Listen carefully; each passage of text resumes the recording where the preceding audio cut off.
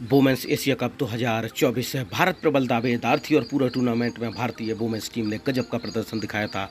लेकिन किसे पता था कि श्रीलंका की टीम धीरे धीरे टाइटल की ओर बढ़ती हुई नज़र आ रही है, लेकिन भारत और श्रीलंका के बीच एशिया कप 2024 का फाइनल खेला गया। इसमें श्रीलंका टीम ने भारत को आठ विकेट से शिकस्त दे दी।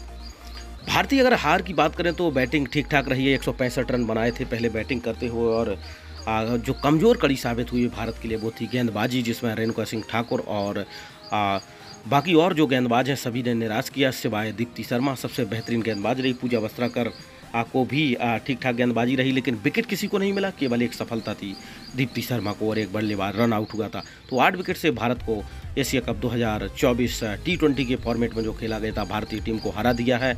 और इसमें हार का जो मेन पहलू जो बताया जा रहा वो था हरमनप्रीत कौर ने जो कैच ड्रॉप किया था वहाँ से आ, लगा कि शायद मुकाबला भारत की झोली से निकल चुका है और वाकई वही हुआ।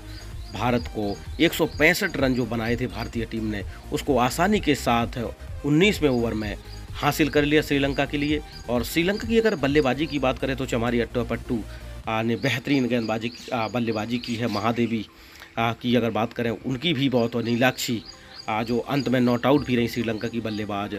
उनका भी अहम योगदान रहा है और पूरा टूर्नामेंट देखें तो भारतीय टीम के लिए लाजवाब रहा है, लेकिन एक बार फिर से फाइनल में आते आते भारतीय टीम से एशिया कप का टाइटल फिसल चुका है और अब इस पर थोड़ा सा आत्म मंथन ज़रूर करना होगा।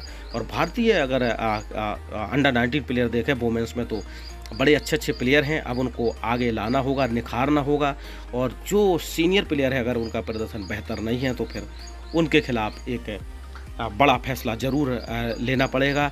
अन्यथा आप फाइनल पर आते हैं और अंत में टाइटल ट्रॉफी आपसे फिसल जाती है, जो बार बार हो